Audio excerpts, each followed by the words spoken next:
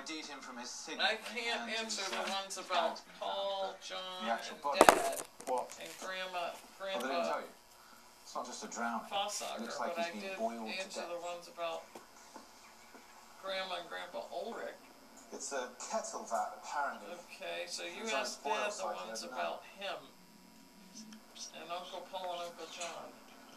Perhaps he was uh, drunk, You asked Dad the ones about Yeah, I wondered Gran- that. But Grandpa then we found of blood Fossager. down there. And the lady that found him Was said that the teacher the vat had allowed to wear hats when they were in school? Somebody They might have been allowed to, but you know him what? They didn't. What? It's medieval. Did you ever see a teacher wearing a hat when they were teaching? Literally. Have you ever seen a teacher wearing a hat? Used to No. execute While they were poisons teaching, in the I haven't either. What this place is famous for. The curse Unless it's bloody hat day. The what? Do- Isn't it One hat day sometimes lived in, here was accused of in schools? Yeah, people with hat day. beer. Hat day. They boiled him Isn't it alive hat in day sometimes? and he cursed the place.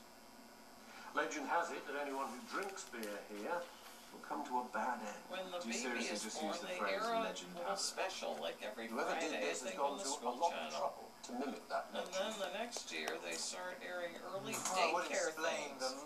The monk Like the one Levi goes to. That's every Monday on the school channel.